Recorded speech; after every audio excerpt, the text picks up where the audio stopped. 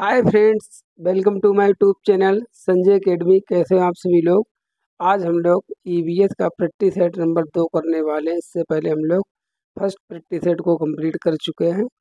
चलिए अपनी क्लास को स्टार्ट करते हैं। सभी लोग जुड़े रहें। लास्ट तक क्लास को देखें। आराम से देखें। बिना स्किप किए हुए मोस्ट इंपॉर्टेंट क्वेश्चन है। सभी क्वेश्चन प्रीवियस ईयर में पूछे गए हैं। और लेटेस्ट क्वेश्चन है जो कि ट्रेंडिंग में चल रहे हैं। जैसे क्वेश्चन पूछे जा रहे हैं। तो डोंट वरी अबाउट दैट चलिए अपनी क्लास को स्टार्ट करते हैं। बिल्कुल टू द पॉइंट होके हम लोग पढ़ेंगे बिना किसी टाइम वेस्टिंग के। चलिए सभी लोग अपना स्कोर भी करते रहें साथ साथ पहला क्वेश्चन है, आप एक एकीकृत ईवीएस कक्षा के लिए कैसे योजना बनाएँगे? मतलब कि आपको ये क्वेश्चन ये है कि आपको इंटीग्रेटेड जो है ईवीएस को पढ़ाना है। मतलब अन्य विषयों के साथ जोड़कर ईवीएस को पढ़ाना है। तो इसके लिए आप एकीकृत ईवीएस कक्षा के लिए योजना कैसे बनाएँगे प्लानिंग कैसे करेंगे पढ़ाने के लिए?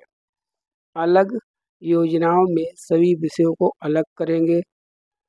विज्ञान एवं सामाजिक विज्ञान के लिए अध्यापकों का प्रबंध करेंगे। पर्यावरण विज्ञान के लिए अलग अध्यापक प्रबंध करेंगे। नहीं, ऐसा नहीं है। एक पाठ में दो या अधिक विषय क्षेत्रों को मिलाएँगे। देखिए एकीकृत का मतलब समझ लीजिए, जिसको हम कहते हैं इंटीग्रेटेड इसका मतलब होता है जैसे एक ही चीज़ को सेम टॉपिक को हम दो जगह पढ़ा रहे हैं। ठीक है, जैसे पर्यावरण विषय है, मान लीजिए। पर्यावरण को आप साइंस में भी पढ़ा रहे हैं, ठीक है? एस एस टी में भी पढ़ा रहे हैं तो इन चीज़ों को एक ही जगह पढ़ाना, जो भी कॉमन टॉपिक हैं, उनको अलग अलग ना पढ़ाकर केवल एक ही जगह पढ़ा देना, जिससे कि सिलेबस भी कम हो जाएगा और हमारा पढ़ाना भी ज़्यादा उचित रहेगा। इसीलिए एकीकृत उपागम की बात की जाती है इंटीग्रेटेड ईवीएस अप्रोच की बात की जा रही है। So D is our right option question number second निम्नलिखित में से कौन सा एन सी एफ़ 2005 के अनुसार ईवीएस पाठ्यक्रम में सुझाए गए छः विषयों में से एक नहीं, एक है? देखिए, जिसको ना पता हो वो नोट डाउन कर ले। एन सी एफ़ दो हज़ार पाँच ने जो ई वी एस है, इसको पढ़ाने के लिए सीधे सीधे छः थीमें बताई हैं। ठीक है, वो कौन सी थीमें हैं लिख लीजिए आप। पहला है हमारा परिवार एवं मित्र। क्या है? परिवार, ये याद करना है इन पर क्वेश्चन बनेंगे, अभी देख लेना। परिवार एवं मित्र, पहली थीम है, ठीक है? परिवार एवं मित्र। दूसरी का नाम है भोजन। तीसरी का नाम है जल या पानी। तीन हो गई? चौथी चौथी का नाम है हमारे आवास। ठीक है? पांचवी का नाम है यात्रा। और छठी का नाम है चीज़ें कैसे बनाते हैं और कैसे करते हैं? मतलब चीज़ें हम कैसे बनाते हैं? चीज़ें कैसे बनाते। राइटिंग पर ध्यान मत दीजिए, हमारे बोलने पर ध्यान दो। चीज़ें कैसे बनाते हैं और करते हैं। ये छः थीमें हो गई। पूरे ईवीएस के सिलेबस को इन्हीं में बांटा गया। जैसे मान लीजिए ये आपका पूरा जो क्यूरिकुलम है, जो सिलेबस है, वो ईवीएस का है। ये है। ईवीएस है पूरी, ठीक है? ईवीएस है। इसको छः भागों में बांटा गया है। चार हो गए एक लाइन था एक, दो, तीन, चार, पाँच छः ऐसी छः थीमों में इसको बांटा गया है। इनके मैंने नाम भी आपको बता दिए हैं। तो छः में से एक है। वो कौन सी है? एक, नाम बताना है। चीज़ें जो हम बनाते हैं और करते हैं। So B is our right option अभी और इस पर आधारित क्वेश्चन आने वाले हैं आगे।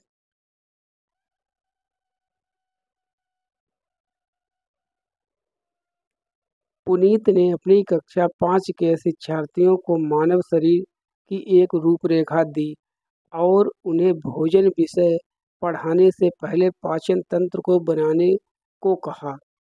पुनीत चाहता था। पुनीत क्या चाहता था? पुनीत मतलब एक टीचर है। वो अपने कक्षा पाँच के बच्चों को, बच्चों के लिए जो है, एक जो है बॉडी के स्ट्रक्चर दिखाता है। मतलब नहीं, कंकाल तंत्र दिखाता है। फिर कहता है बच्चों से, बच्चों को वो पढ़ाने जा रहा है। आज का टॉपिक उसका है पाचन तंत्र डाइजेस्टिव सिस्टम वो इससे पहले बच्चों से क्या करता है कि एक जो है बनाने के लिए कहता है। क्या बनाने के लिए? कहता है, एक रूपरेखा मतलब जैसे स्क्रेच बनाने के लिए कहता है कि एक फिगर बनाइए। पुनीत क्या चाहता है? उसका उद्देश्य क्या है ऐसा करने के पीछे? पाचन से संबंधित शिक्षार्थियों के विचारों को जानना मतलब प्राप्त करना। अच्छे ड्राइंग कौशल नहीं, ये तो आर्ट में करेंगे। पाचन की प्रक्रिया पर शिक्षार्थियों का मूल्यांकन करना। अभी तो पढ़ाने की बात हो रही है। मूल्यांकन की कोई बात नहीं करेंगे। परीक्षण करना कि शिक्षार्थी नामांकित आरेख बना सकते हैं? नहीं, ये भी नहीं है। तो सीधी सी बात है, बच्चों का प्री अनुभव उसका कितना रहा है, ठीक है? बच्चे उससे रिलेटेड कितनी जानकारी को पहले से जानते हैं, रखते हैं, इसके लिए पुनीत ऐसा कर रहा है कि बच्चों से वो चित्र बनवा कर देख रहा है। तो A is our right option आराम से बने रहे क्लास में।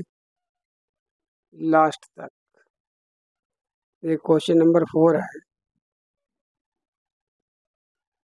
कुछ हज़ार साल पहले भारत में तालाबों के निर्माण के अलबरूनी के अवलोकन के आधार पर कक्षा पाँच के ईवीएस के पाठ पुस्तक में एक अनुच्छेद है। किससे संबंधित? मतलब अलबरूनी ने एक चैप्टर लिखा था, जो देखा था, उसके बाद बारे में उसने लिखा था तालाबों के ऊपर, ठीक है? पाठ्य पुस्तक में अनुच्छेद है, वो क्यों रखा गया है? इस अनुच्छेद को शामिल करने का क्या उद्देश्य है? इसके पीछे मतलब क्या है? ये इतिहास के स्रोतों की पहचान करने में शिक्षार्थियों की मदद करता है। यह शिक्षार्थियों को उनके अवलोकनों की रिकॉर्डिंग में सुधार करने में मदद करता है। यह शिक्षार्थियों को कुछ एक हज़ार साल पहले भारत में मौजूद तकनीकी की सराहना करने में मदद करता है। यह शिक्षार्थियों को इतिहास इतिहास में साक्ष्य की भूमिका की सराहना करने में मदद करता है। तो बताइए कौन सा इसमें सही होगा? अलबरूनी ने चैप्टर का वर्णन किया है, ठीक है? तो उसको रखा क्यों गया है? ईवीएस की बुक में। इसके पीछे क्या सिखाने का प्रयास किया जा रहा है? तब देखिए इसमें ये तो सही होगा।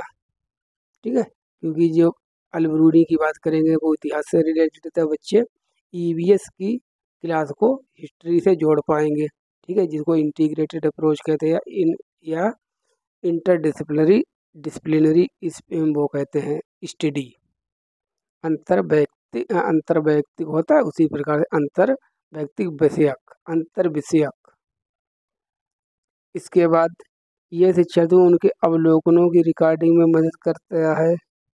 नहीं, ये तो मदद तो नहीं करेगा। सी यह शिक्षार्थियों कुछ एक हज़ार साल पहले भारत में मौजूद तकनीकी हाँ ये सही है। अब बच्चे जो है हिस्ट्री के माध्यम से अनुच्छेद के माध्यम से ये जानेंगे कि एक हज़ार साल पहले लगभग हमारे देश में कैसी व्यवस्था थी, तकनीक की, ठीक है? तो इसके बारे में उनको पता चल जाएगा। क्लास तो ई की थी। और यह शिक्षा, शिक्षार्थियों को इतिहास में साक्ष्य की भूमिका की सराहना करने में मदद करता है। तो इसमें बी सही नहीं और तीनों सही है तो इसलिए इसका ऑप्शन कौन सा सही हो जाएगा? A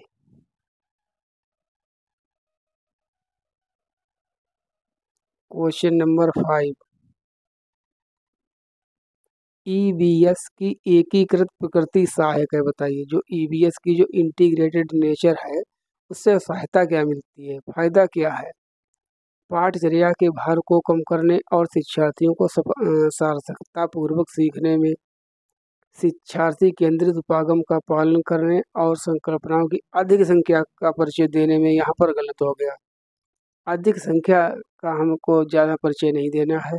दी गई सूचनाओं और विवरणों को सीखने में भी नहीं है।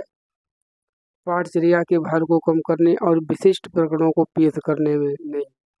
सभी में जो सबसे ज़्यादा बेस्ट है, एकीकृत उपागम उसके अनुसार पहला होगा। कि सबसे पहली बात तो है लर्निंग विदाउट बर्डन शिक्षा बिना बोझ के पहले पाठ्यक्रम को कम करना, फिर उसके साथ ही साथ बच्चों को वो चीज़ें सिखाना जो उनके लिए ज़्यादा सार्थक हो, ज़्यादा मीनिंगफुल हो। इसलिए A is our right option.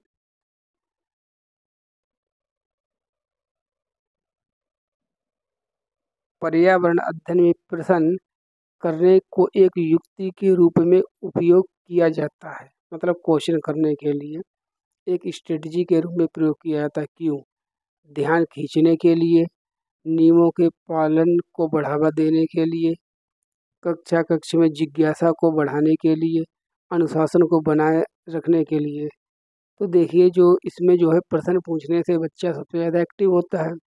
Class जीवंत होती है, जिसमें बच्चे क्वेश्चन पूछ रहे हैं, ठीक है, अध्यापक कोऑपरेट कर रहे हैं।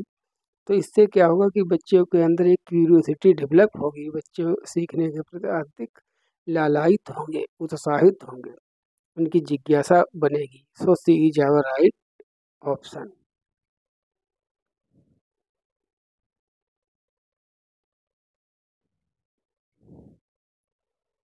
अपनी कक्षा में पचास से अधिक छात्रों के साथ बाणी। बाणी यहाँ पर नाम है, ठीक है? वो वाली बाणी नहीं है, बोलने वाली बाणी नाम है। के साथ बाणी उन्हें एक ऐसी गतिविधि से में जोड़ना चाहती है, जिसमें सीखने को बढ़ा, बढ़ाने के लिए अधिकतम संख्या में इंद्रियाँ शामिल हों, ठीक है? जैसे हम लोग केवल इसमें, मान लीजिए अगर हम कोई चीज़ पढ़ रहे हैं तो उसमें क्या है? बहुत कम हमारी इंद्रियाँ एक्टिव हैं। एक तो देखना है हमारा, ठीक है, आँखें हैं और सुनना है, दो चीज़ें और जब हम काम को करते हैं, तब सबसे ज़्यादा हमारी जो इंद्रियाँ वो एक्टिव होती हैं। निम्न में से कौन सा क्रियाकलाप उपरोक्त कार्य के लिए ठीक होगा? ऐसे कौन सी क्रियाकलाप है कि एक्टिविटी है, जिसके द्वारा वाणी अपने बच्चों को सिखाने के लिए सबसे ज़्यादा इंद्रियों का यूज़ कर सकती है? बताइए। समूह चर्चा को प्रोत्साहित करना, उचित ए बी साधन के लिए स्मार्ट कक्षा कक्ष का उपयोग करना, नज़दीक के स्थान के लिए क्षेत्र भ्रमण का आयोजन करना, बस। देखिए, जब हम फ़ील्ड ट्रिप पर जाते हैं टूर पर जाते हैं, तब सबसे ज़्यादा एक्टिव होते हैं, तब सबसे ज़्यादा हमारी इंद्रियाँ काम करती हैं, देखना है, छूना है, बातचीत करना है। अब बिल्कुल हमारा रियल जो है इंटरेक्शन होती है। So C is our right option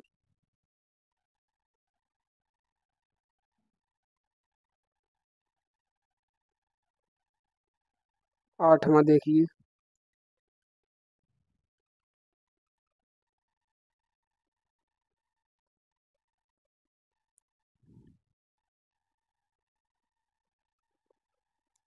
बच्चों को पर्यावरण अध्ययन सीखने में प्रभावशाली तरीके से जोड़ा जा सकता है। आपको बच्चों को पर्यावरण सिखाना है तो आप कैसे सिखाएँगे?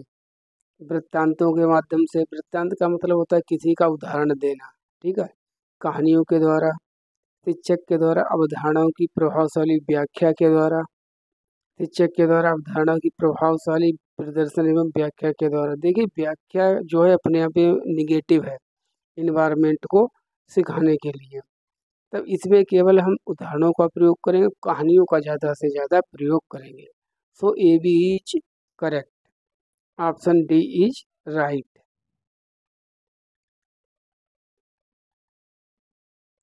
बताइए इसमें क्या कस का प्रयोग करेंगे? ये तो बहुत ईजी क्वेश्चन है। कर लीजिए इसका आंसर निम्नलिखित सीखने के कौन से सिद्धांत का पर्यावरण अध्ययन में अनुसरण होता है? मतलब पर्यावरण अध्ययन के लिए किस सिद्धांत का प्रयोग करते हैं? अज्ञात से ज्ञात की ओर, ज्ञात से अज्ञात, ऊपर था अज्ञात से ज्ञात, वैश्विक से स्थानीय, अमूर्त से मूर्त, ये उल्टा लिखा है, ठीक है? मूर्त से अमूर्त होना चाहिए। ये भी उल्टा लिखा है, स्थानीय से वैश्विक होना चाहिए। और अज्ञात से ज्ञात कुछ नहीं होता, बल्कि ज्ञात से अज्ञात की ओर। ये एक इसमें और भी ज़्यादा कन्फ्यूज़ करने के लिए बना देते हैं ऑप्शन ज्ञान से अज्ञान की ओर। ज्ञान से अज्ञान की ओर। मतलब जो बच्चा जानता है उस चीज़ को भुला देना ठीक है? तो जो चीज़ गलत है। ज्ञान से अज्ञान नहीं होता है ज्ञात से अज्ञात की ओर।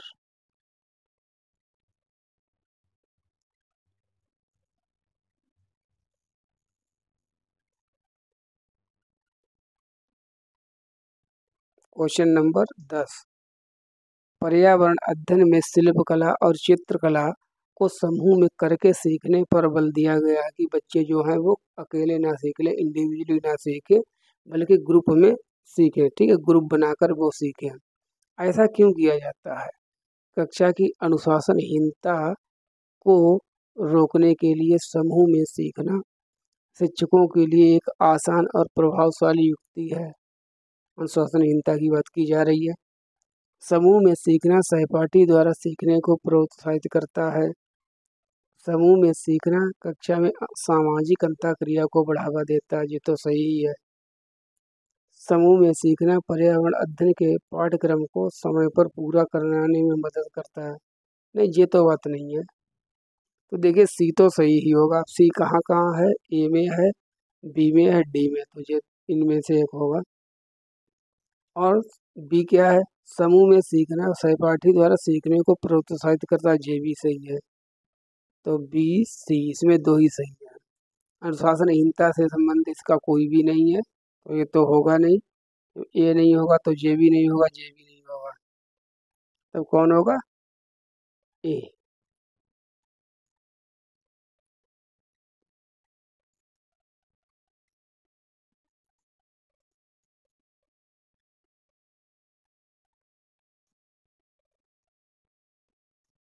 देखिए। एक कक्षा पाँच की शिक्षिका एक क्रियाकलाप का संचालन करती है एक्टिविटी करती है, जिसमें वह कक्षा के बच्चों से फर्श पर चीनी के कुछ दाने डालने को कहती है और उनको चीटियों के आने का इंतज़ार करने को कहती है कि अब आपने चीनी के दाने डाले हैं, अब थोड़ी ही देर में चीटियाँ यहाँ पर आ जाएँगी। ठीक है, बच्चों को इस क्रियाकलाप से अर्थपूर्ण सीखने को मिल सकता है यदि शिक्षक, अब बच्चे इस जो है एक्टिविटी के माध्यम से बच्चे कैसे सीख सकते हैं? बच्चों को क्रियाकलाप का अवलोकन, अनुभव साझा और उस पर चर्चा करने को प्रेरित करती है। ठीक है, अनुभव साझा करने का मतलब एक दूसरे की बातों को समझना। बच्चों को क्रियाकलाप से संबंधित प्रश्नों को घर से करने के लिए प्रेरित करती है। नहीं, ये घर से नहीं। बच्चों को क्रियाकलाप का अवलोकन करने को प्रेरित करती है। बच्चों को अपने अनुभव साझा करने को प्रेरित करती है। देखिए, इसमें जो सबसे ज़्यादा सही है, वो ये है ए वाला है। बच्चों को क्रियाकलाप का अवलोकन, पहले तो बच्चे पूरी एक्टिविटी को देखें, अवलोकित करें, ठीक है? ऑब्जर्वेशन करें कि कैसे चीटियाँ आती हैं। अनुभव साझा करें एक दूसरे से और फिर उस पर चर्चा करने को प्रेरित प्रेरित करती है, ऐसे होना चाहिए। So A is our right option.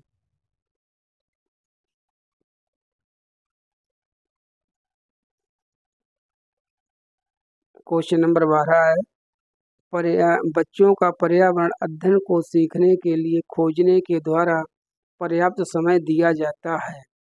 यह इंगित करता है कि क्या इंगित करता है? मतलब बच्चे हैं, उनको ईवीएस को सीखने के लिए जैसे फुल टाइम दिया जाता है, अवसर दिए जाते हैं, कोई टाइम की बाउंडेशन नहीं है। इस प्रकार से सीखने पर बल दिया जाता है। तो ये क्या चीज़ को सूचित करता है? पर्यावरण अध्ययन बाल केंद्रित है। ठीक है? बाल केंद्रित है। पर्यावरण अध्ययन शिक्षक केंद्रित है। पर्यावरण याद करके सीखा जाता है, याद करके सीखा जाता है। पर्यावरण अध्ययन सूचनाओं के द्वारा सीखा जाता है। बताइए। देखिए, सूचनाओं के द्वारा सीखना, याद करना अपने आप में दोनों निगेटिव हैं और शिक्षक केंद्रित। शिक्षक केंद्रित नहीं, इसमें कौन सा पढ़ाई चल रही है? बाल केंद्रित। इसलिए हमारा ए सही होगा। कभी भी अगर आपको शिक्षक केंद्रित याद करना, रटना, कंठस्थीकरण, ठीक है, सूचनाओं को ज़्यादा से ज़्यादा पढ़ना मिल जाए, वो ऑप्शन गलत होते हैं।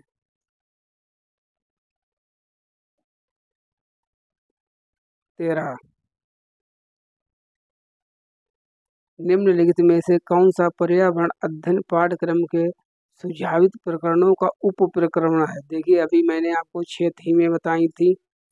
इसके लिए पर्यावरण के लिए रिवाइज कर लीजिए जल्दी से जल्दी। देखिए कौन कौन सी थी? परिवार एवं मित्र। पहली परिवार एवं मित्र, दूसरी थी भोजन। अच्छा सीक्वेंस से कोई मतलब नहीं, आपको याद होना चाहिए। परिवार एवं मित्र, भोजन पानी, आवास, यात्रा और चीज़ें कैसे बनाते हैं और कैसे करते हैं। अब इनमें जो छः तो थीमें हो गई। अब इसमें जो पहली वाली थीम थी जिसका मैंने आपको नाम बताया था, परिवार एवं मित्र। कौन सी थी? परिवार एवं मित्र। परिवार व मित्र। इसको इसको पुनः उप, जो स्किल्स जिसको सब स्किल्स कहते हैं, ठीक है? उप कौशल में बांटा गया चार भागों में। पहली का नाम है, क्या है? काम और खेल। दूसरा है हमारा जानवर। तीसरा है हमारा पौधे। और चौथा है हमारा आपसी संबंध। भाई, परिवार में आपस में संबंध भी होते हैं, ठीक है? मित्र कौन है? हमारे पौधे हैं, जानवर हैं, काम और खेल।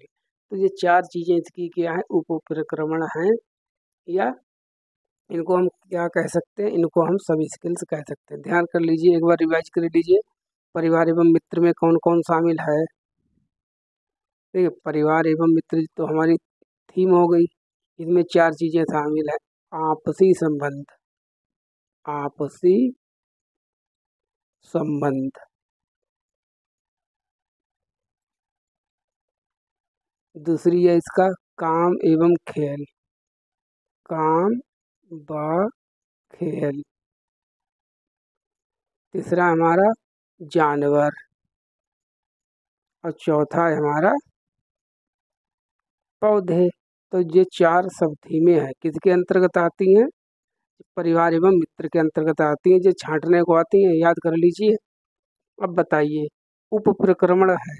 सब कौशल कौन सा है? जानवर हम चीज़ें कैसे बनाते हैं? परिवार एवं मित्र, भोजन। देखिए, भोजन, परिवार एवं मित्र, हम चीज़ें कैसे बनाते हैं? ये तीनों थीमें हैं। जबकि जानवर क्या है? ये उप प्रक्रमण है। किसके अंतर्गत आता है? परिवार एवं मित्र के अंतर्गत आता है। So A is our right option इसमें ए सही हो जाएगा।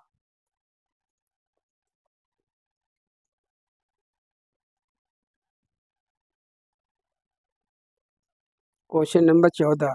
निम्नलिखित में से क्या पर्यावरण अध्ययन के शिक्षक के लिए वांछनीय गतिविधि है? मतलब कि ऐसी कौन सी गतिविधि है जिसको पर्यावरण का जो टीचर है ईवीएस का टीचर है, जिसको करवाना चाहिए? पर्यावरण अध्ययन के छह प्रकरणों का रेखीय आयोजन, केवल ऐसे ही सीधे सीधे पढ़ा देना, रटा देना। केवल तो अपने आप में निगेटिव वर्ड है, केवल पाठ्य पुस्तकों पर आधारित रहना, आश्रित रहना विभिन्न कक्षाओं के बहुसांस्कृतिक क्षेत्र को संबोधित करना, पर्यावरण अध्ययन की अवधारणाओं से संबंधित महत्वपूर्ण सूचनाओं को बच्चों को देने के लिए प्रेरित करना। देखिए, अगर आप केवल सूचनाएँ बच्चों को दे रहे हैं तो ये भी निगेटिव है। सूचनाएँ नहीं, उनको बच्चे को सिखाना है तो ये तो गलत हो गया। इसमें सी वाला सही रहेगा। देखिए, दोबारा से पढ़ लीजिए। तो शिक्षक को कौन सी एक्टिविटी करना आनी चाहिए? बच्चों को उनकी जो संस्कृति मल्टी कल्चरनेस है उससे जोड़कर पढ़ाना चाहिए, संबोधित करना चाहिए। पंद्रवा क्या है?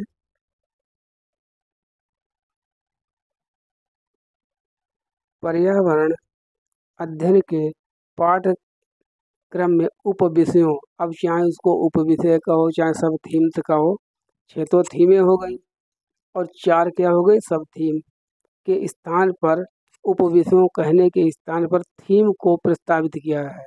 मतलब विषय, उपविषय नहीं कहा गया थीम कहा गया थीम सब थीम ऐसा क्यों कहा गया है? ईवीएस के सिलेबस के लिए बताइए। बच्चों के परिवेशीय बोध में वृद्धि करने के लिए, बच्चों के स्थानीय परिवेश के मुद्दों से जुड़े हुए और अंतर संबंधित समझ के विकास के लिए, यही सही है। ठीक है? बच्चे जो आपस में जानते हैं, जो उनकी सामाजिक जानकारी है, उससे रिलेटेड उनको पढ़ाया जाए। इसलिए थीम शब्द का प्रयोग किया किया गया है, विषय उपविषय की जगह पर। जैसे भोजन है, परिवार है, ठीक है, जल है, आपसी संबंध, परिवार एवं मित्र हैं, यात्रा है, चीज़ें कैसे बनाते हैं और करते हैं। छः थीमें हैं।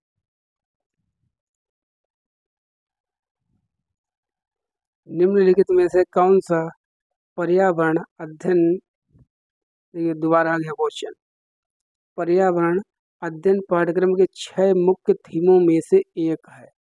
थीम पहचाननी है।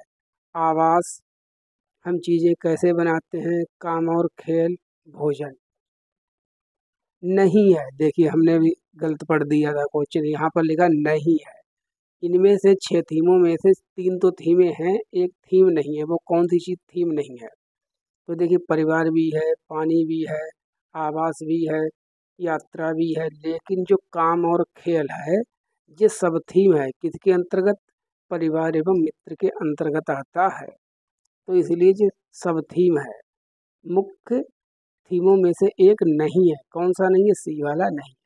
तो आपको क्वेश्चन को पढ़ना बहुत हिसाब से है, नहीं तो गलती हो जाएगी।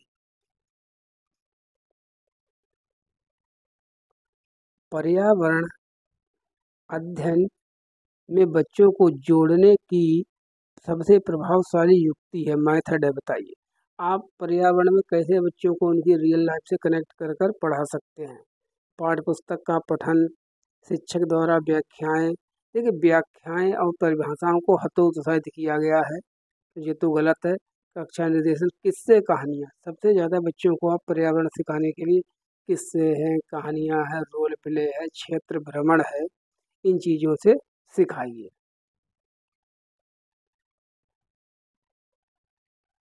क्वेश्चन नंबर अठारह है। निम्नलिखित में से कौन सा एक पर्यावरण अध्ययन के संबंध में सच नहीं है। अभी हमने भी पकड़ लिया, नहीं वाला क्वेश्चन है। तीन तो चीज़ें सही हैं, एक गलत है, वो गलत ढूंढी है।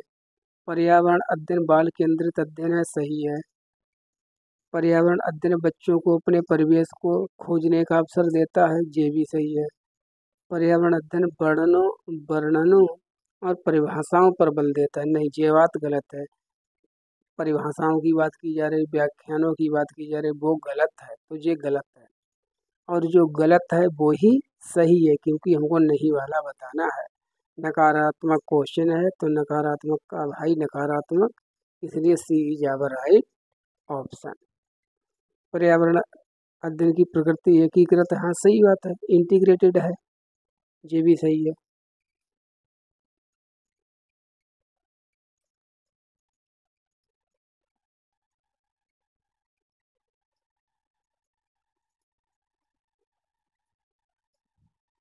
एक शिक्षक विजुअल नहीं है ना चलिए विजुअल करते हैं।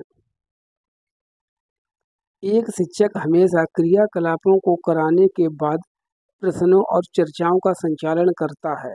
मतलब पहले तो उसने कोई एक्टिविटी करवा दी, बाद में कोई बच्चों से प्रश्न पूछता है और चर्चा करता है। प्रश्नों चर्चाओं का संचालन करने का उद्देश्य है। वो क्यों ऐसा करता है? उसका उद्देश्य क्या है शिक्षक का? बच्चों की प्रक्रिया कौशलों का आकलन। बच्चों प्रक्रिया कौशल का मतलब है सीखने की प्रक्रिया का आकलन। बच्चों को खोजने का अवसर ये तो सही है। बच्चों को अपनी अभिव्यक्ति का अवसर ये भी सही है। ब, बच्चों में उनके सीखने की गति के आधार पर विभेद करना बांटना नहीं ये काम आप नहीं करेंगे कि कौन बच्चा तेज़ी से सीखता है कौन धीमी गति से सीखता है ऐसा आपको कुछ भी नहीं करना है। तो डी तो गलत हो गया। सही, फिर कौन बचा? ये तीनों सही है। ए, बी, सी ये कौन से वाले में? सी, ऑप्शन में।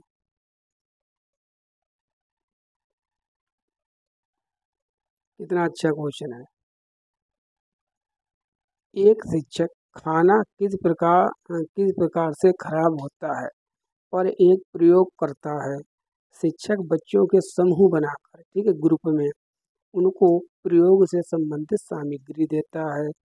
शिक्षक बच्चों के समूह क्यों बनाता है? मतलब ग्रुप लर्निंग क्यों करवाई जा रही है? ले बाइगोट्सकी जी को ध्यान कर लेना।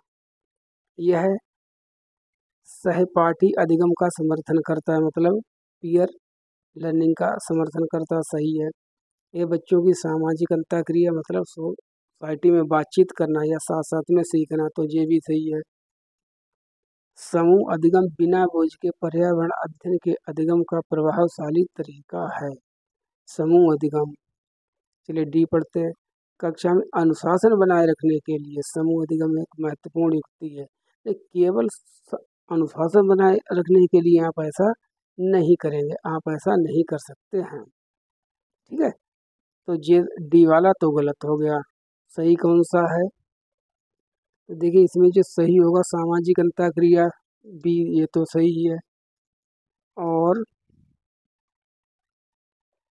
ए सहपाठी अधिगम का समर्थन करता है। ठीक है, थोड़ा क्वेश्चन पर ध्यान लगाया करो, टाइम लगाया करो, एक संग जल्दीबाजी नहीं नहीं गलत हो जाए तो D is our right option. इक्कीस। सुषमा चाहती है कि उसके छात्रों को पेड़ों के संरक्षण, ठीक है, प्लांट कंजर्वेशन के लिए संवेदनशील बनाया जाए। निम्नलिखित में से कौन सी ऐसी करने की सबसे उपयुक्त रणनीति, ऐसा करने के लिए मतलब पेड़ों के संरक्षण को पढ़ाने के लिए, संवेदनशील बनाने के लिए आपको क्या करना चाहिए जिससे बच्चे पेड़ों के प्रति संवेदनशील हो जाएँ? कक्षा में बहस आयोजित करना, ठीक है, केवल फॉर्मल रूप से डिस्कशन करवाना, समूह चर्चा, पोस्टर बनवाना, बच्चों को एक पौधे को अपनाने और पोषित करने में मदद करना मतलब बच्चों से कहेंगे कि सभी बच्चे एक एक पौधा लगाएँगे, ठीक है? और उस पर टाइम से टाइम पानी देते रहेंगे, उसको खाद पानी देंगे जिससे वो बड़ा हो जाए। तो बच्चे सबसे ज़्यादा इससे संवेदनशील होंगे क्योंकि इसमें सबसे ज़्यादा वो एक्टिव भी हैं। So D is our right option बाईस नंबर में क्या है?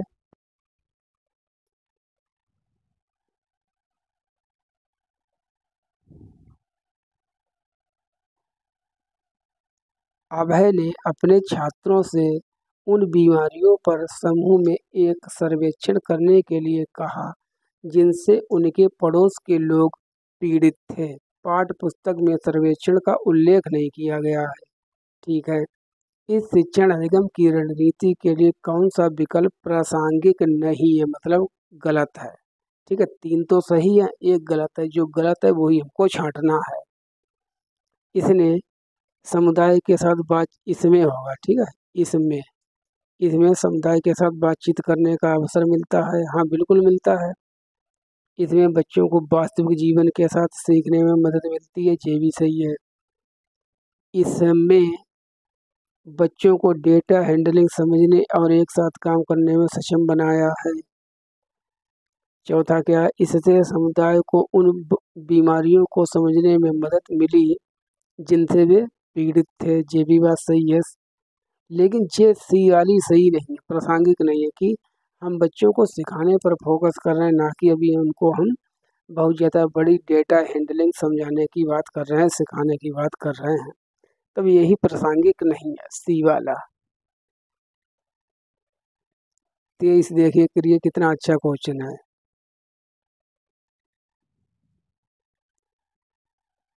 आपातकालीन परिस्थितियों के बारे में बात करने के लिए प्रिया एक टीचर है। प्रिया ने बच्चों के अनुभव पूछे, जब उन्हें काफ़ी आपात स्थिति का सामना करना पड़ा, बच्चों ने आग, बिजली के झटके, सड़क दुर्घटनाओं के साथ अपने अनुभव सुनाए। उन्होंने प्रश्न पूछे, उनकी मौजूदा समझ का आकलन किया और समाचार पत्रों से सड़क सुरक्षा विज्ञापनों जैसे संसाधनों का उपयोग करके सुरक्षा पहलुओं पर चर्चा की और क्रमशः आग और बिजली के झटके पर सुरक्षा दिशा निर्देशों पर चर्चा के लिए एल पी जी ठीक है, और इलेक्ट्रिक बिल का इस्तेमाल किया। बिल्कुल सीखने के लिए, समझाने के लिए एल पी जी सिलेंडर जिसको रसोई वाला सिलेंडर भी कहते हैं। और इलेक्ट्रिक बिल जो हमारा बिजली का बिल आता है, इससे बिल का उसने प्रयोग किया, सिखाने के लिए प्रिया द्वारा अपनाया गया सबसे उपयुक्त दृष्टिकोण कौन सा है? वो किसके माध्यम से बच्चों को सिखाने का प्रयास कर रही है? संज्ञानात्मक दृष्टिकोण, अन्वेषण दृष्टिकोण, मानवतावादी दृष्टिकोण, अनुभवात्मक दृष्टिकोण। सीधी बातें सभी बच्चों का अनुभव पूछ रही है, उसके आधार पर उनकी रियल लाइफ से कनेक्ट कर समझा रही है तो इसमें हो जाएगा अनुभव अनुभवात्मक दृष्टिकोण experiential approach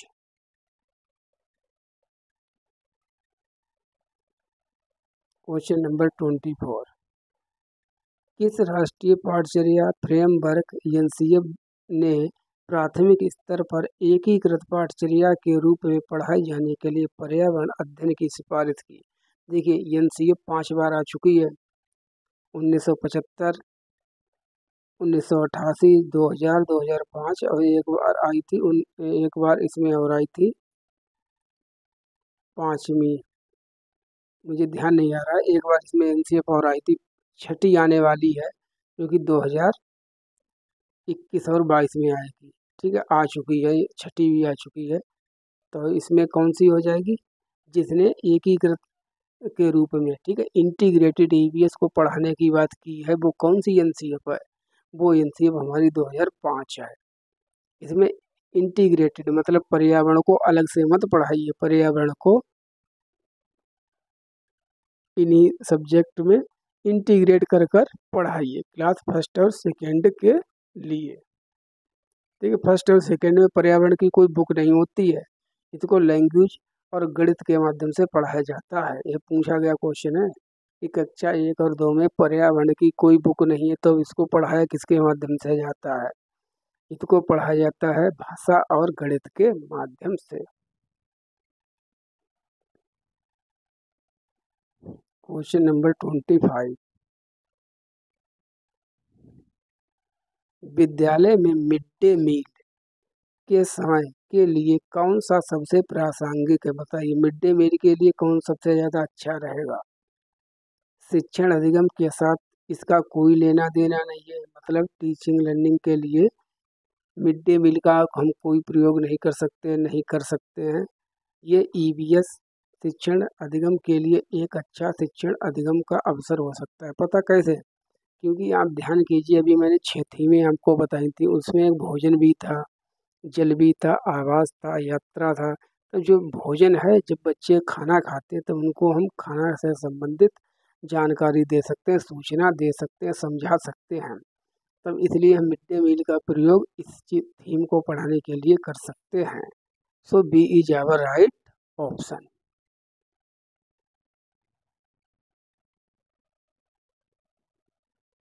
question number twenty six E B S कक्षा में, समूह में सीखने का क्या उद्देश्य बताएँ ई बी एस में फिर वही बात आ गई कि ग्रुप लर्निंग की बात क्यों की जाती है? लड़के लड़कियाँ अलग अलग सीख सकते हैं। काम और उच्च प्रदर्शन वाले छात्रों को अलग करना नहीं, आप किसी को अलग नहीं करेंगे। गलत सहयोग के मूल्यों को लागू करने और एक साथ काम करने के लिए प्रत्येक बच्चे को सक्रिय रूप से भाग लेने और सीखने में सक्षम बनाना। यही सही है। सबका साथ, सबका विकास, सब सीखे साथ साथ में सीखे ग्रुप लर्निंग करें। इसलिए ईबीएस में समूह में सिखाया जाता है। So C is our right option चलिए और चार क्वेश्चन बने। बचे हैं। इसमें बताइएगा पढ़िए क्वेश्चन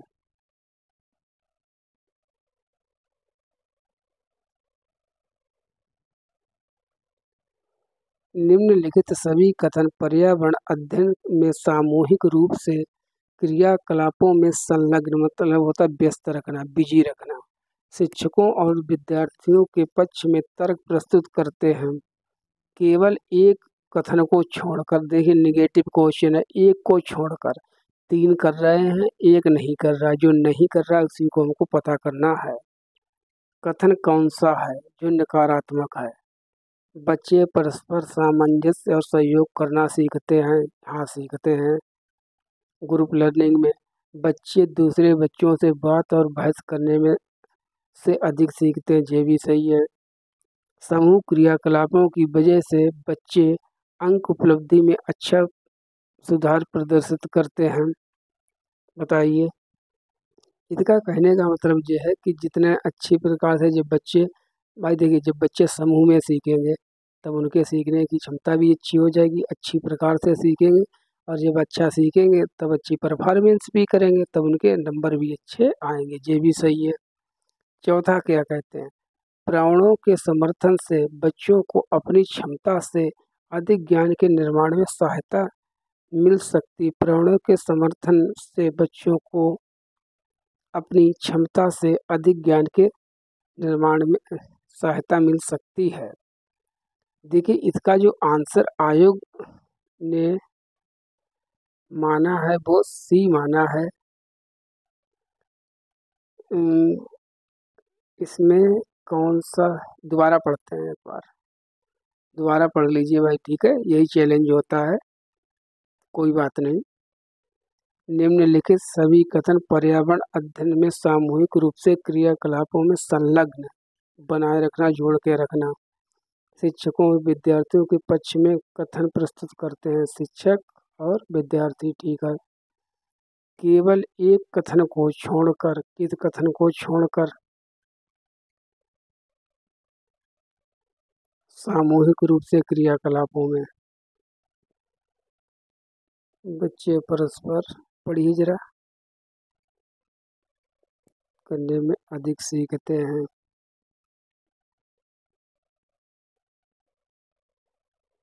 प्राणों के समर्थन से।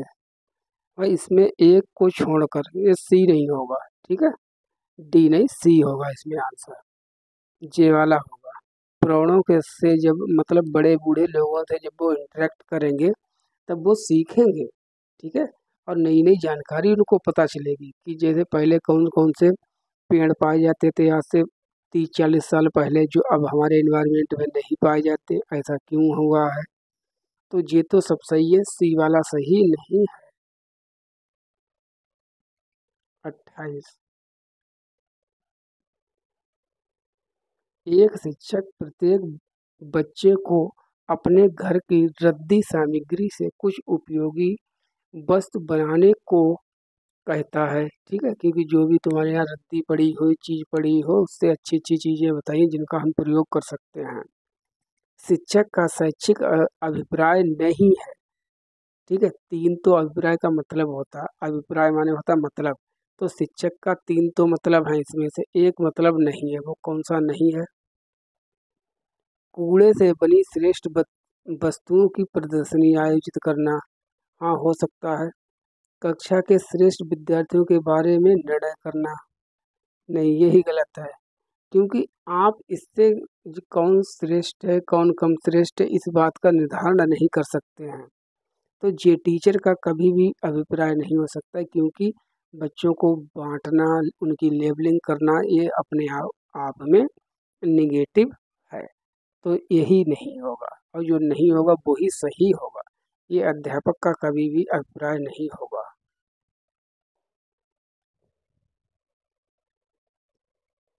उनतीस एक शिक्षक अपने विद्यार्थियों को विभिन्न पशुओं के चित्र देता है अलग अलग प्रकार के और उन पशुओं पर रंग भरने को कहता है। जैसे हाथी है, घोड़ा है, गाय है गधा है, सभी के चित्र दिए और कहा सभी पर रंग भरो।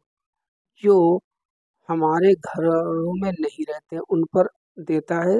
वो कहता है उनके घरों में, जो हमारे घर में नहीं रहते, जैसे शेर है, चीता है, भालू है इस क्रियाकलाप का उद्देश्य क्या है, बताइए?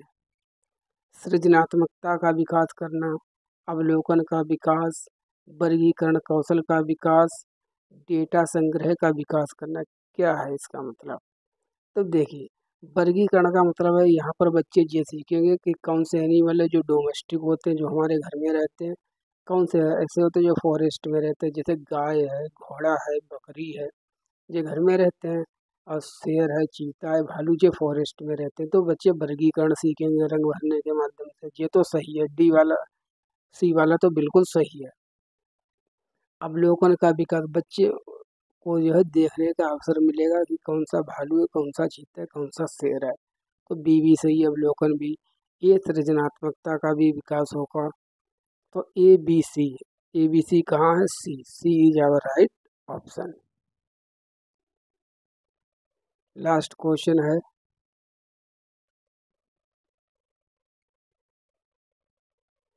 Question number thirty. पर्यावरण अध्ययन के पाठ्यक्रम, जिसे छह उप विषयों के चतुर्दिक निर्मित किया गया है, में पौधों और पशु को जानबूझकर परिवार और मित्र, जो ऊपर अभी हम बता रहे थे, परिवार और मित्र मेन थीम है, इसके अंतर्गत पशुओं मतलब जानवर और पौधों को रखा गया है। उप विषय के अंतर्गत सम्मिलित किया गया है। इसके लिए निम्नलिखित में से एक कारण को छोड़कर, एक को छोड़कर मतलब निगेटिव क्वेश्चन है समझिए। शेष सभी कारण हो सकते हैं और कौन कौन से कारण हो सकते हैं? वह एक कारण कौन सा है बताइए? वो कौन सा कारण है? एक को छोड़कर। विद्यार्थियों को विज्ञान के दृष्टिकोण से पौधे और पशुओं को समझने में सक्षम बनाना। सामाजिक और सांस्कृतिक संदर्भ में पौधों और पशुओं के स्थान निर्धारित करने में विद्यार्थियों की सहायता करना। इस बात को उभारना कि किस प्रकार मनुष्य एक दूसरे से घनिष्ठ संबंधों को साझा करते हैं, ये भी है। इस बात को उभारना कि किस प्रकार कुछ समुदायों के जीवन, जैसे हमारे आदिवासी भाई बहन होते हैं और आजीविकाएँ विशेष पशुओं या पौधों से घनिष्ठ रूप से जुड़ी हुई है। तो देखिए, इसमें जो है ए वाला नहीं होगा। क्यों नहीं होगा? मैं बताऊँ? क्योंकि बच्चे जो है, विज्ञान के दृष्टिकोण से नहीं देखते हैं, इसलिए ऐसा नहीं किया गया, बल्कि इसलिए किया गया है कि बच्चे होलिस्टिक रूप से देखते एकीकृत रूप में देखते हैं। वो नहीं जानते कि साइंस क्या है, पर्यावरण क्या है, वो एक ही रूप में देखते हैं पौधों और जानवरों को। So A is right option negative question था।